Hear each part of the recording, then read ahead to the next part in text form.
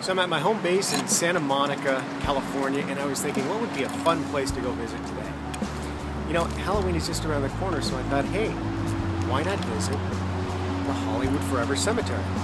So that's what we're going to check out today.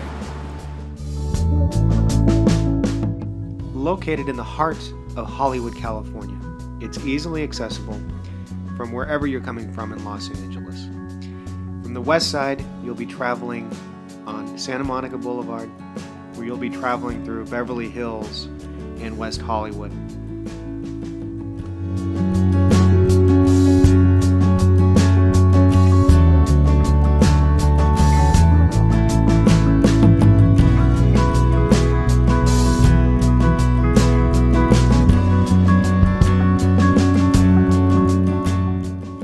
Upon arriving the Hollywood Forever Cemetery, which is located at 6000 Santa Monica Boulevard in Hollywood, you'll want to head over to the gift shop. There, you'll pick up a map for about five bucks, which will show you where everybody's buried. Over 100 years ago, back in 1899, Isaac Van Nuys and Isaac Lankershim, whose two names, if you live in Los Angeles, sound very familiar, created the Hollywood Forever Cemetery. In fact, it was one of the first of its kinds where instead of just creating a place near a church where you would bury people, they decided to create a 100 acre lawn park. So that's what we're at today. The Hollywood Forever Cemetery was originally called the Hollywood Memorial Park Cemetery, and it's one of the oldest cemeteries in Los Angeles.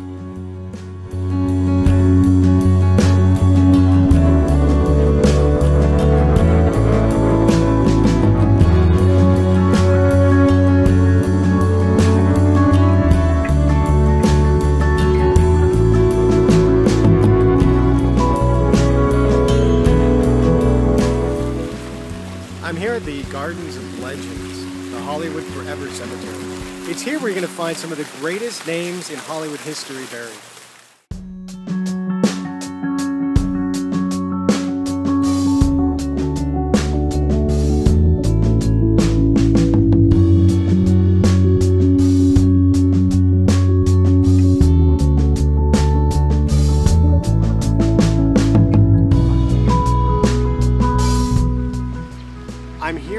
Grave of Cecil B. DeMille, probably one of the greatest Hollywood producers of all time. He was born in 1881 and died in 1959. And during that time, he produced movies not just from the silent era, but also to the golden age of Hollywood.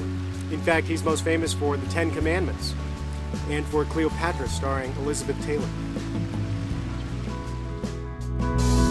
DeMille entered films in 1913 and he directed dozens of silent films, including Paramount Pictures' first production, The Squaw Man, in 1914. DeMille was one of the first directors in Hollywood to become a celebrity in his own right. From 1936 to 1944, DeMille hosted and acted as pitchman for Cecil B. DeMille's Lux Radio Theater, a popular dramatic radio show at the time. Gloria Swanson immortalized DeMille with the oft-repeated line, quote, All right, Mr. DeMille, I'm ready for my close-up, in Billy Wilder's Sunset Boulevard, wherein DeMille played himself.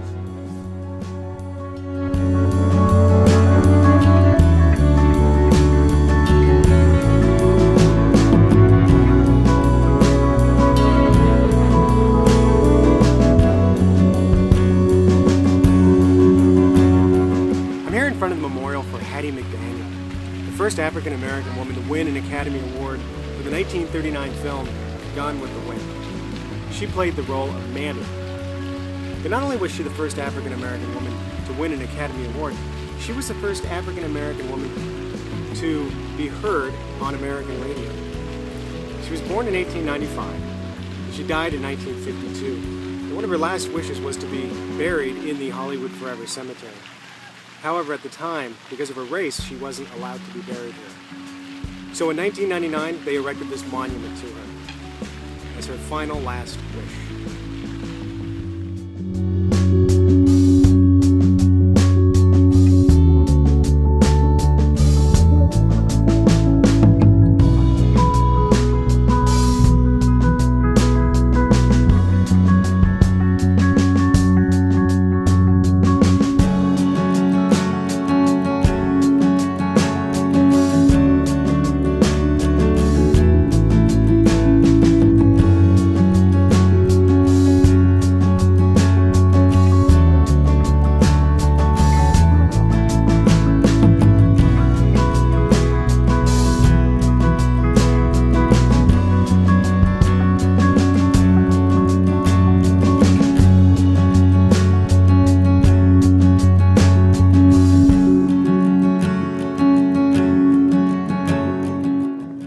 John Williams Cummings, better known by his stage name Johnny Ramone, was an American guitarist and songwriter best known for being the guitarist for the punk rock band The Ramones.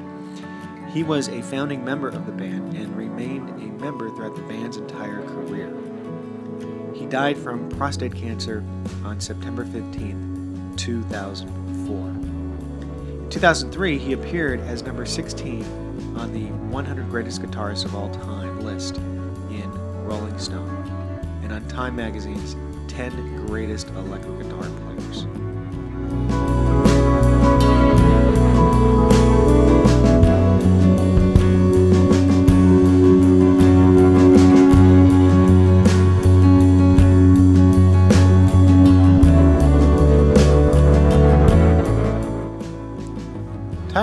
Was an American film and stage actor who appeared in dozens of films from the 1930s to the 1950s. Though renowned for his dark, classically handsome looks that made him a matinee idol, Power played a wide range of roles, from film noir to light romantic comedy.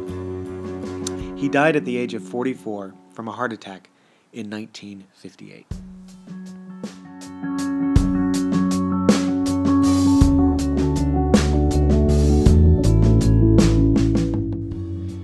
Mansfield was an American actress working both on Broadway and in Hollywood. Mansfield starred in several popular Hollywood films that emphasized her platinum blonde hair, hourglass figure, and cleavage revealing costumes, and also having the ability to play the violin. She died at the age of 34 in an automobile accident.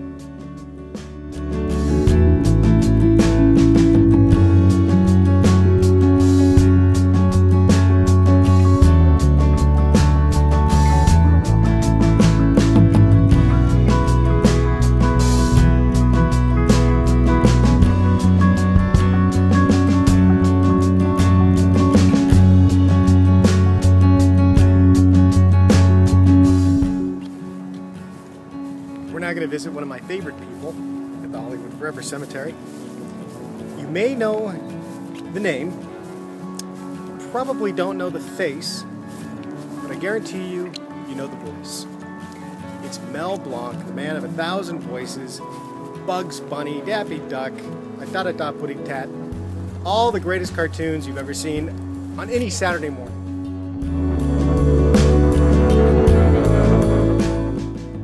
Mel Blanc was an American voice actor and comedian. Although he began his nearly six decade long career performing in radio commercials, Blanc is best remembered for his work with Warner Brothers during the golden age of American animation.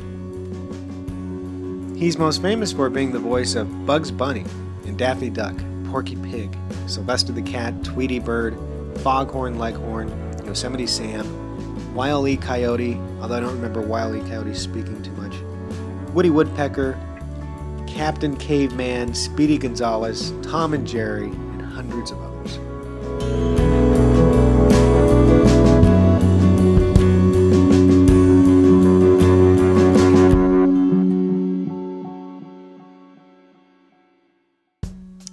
With over a century of history under its belt, the Hollywood Forever Cemetery's future is bright, and it will continue to thrive as a place of refuge and comfort for families of all cultures, religions, and backgrounds.